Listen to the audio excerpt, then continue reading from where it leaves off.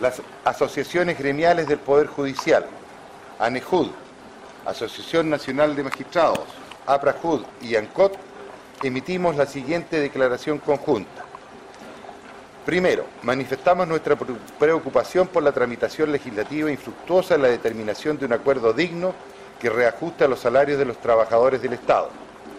Dos, no nos oponemos a la directriz de escalonar los esfuerzos económicos del Estado en favor de las remuneraciones más bajas, lo que bajo ninguna circunstancia puede hacerse a costa del poder adquisitivo de otras remuneraciones de servidores públicos. 3.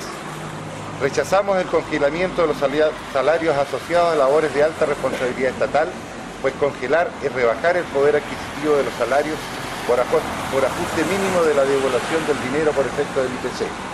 4.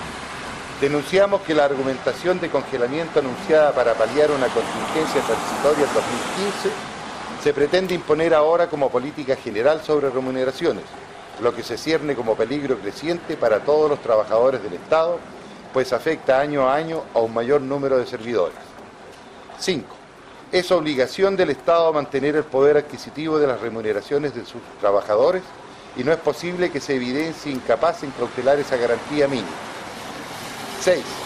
Expresamos nuestro solidario respaldo a las acciones de la mesa de negociaciones del sector público en su lucha por lograr dignas y justas remuneraciones para los trabajadores del Estado.